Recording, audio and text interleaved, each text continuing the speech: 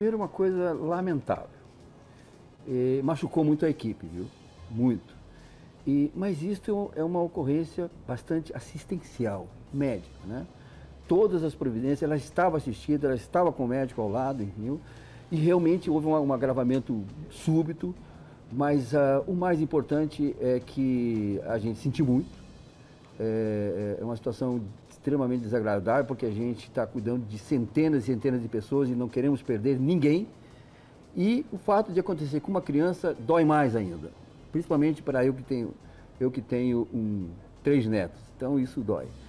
Mas investigamos, investigamos, enfim, conversamos, não houve desassistência, o médico estava junto, tentou, entubou inclusive, é, mas foi lamentável mesmo. E foi isso que aconteceu. Uma intercorrência de, uma, de um agravamento súbito da, do problema da, da, da criança.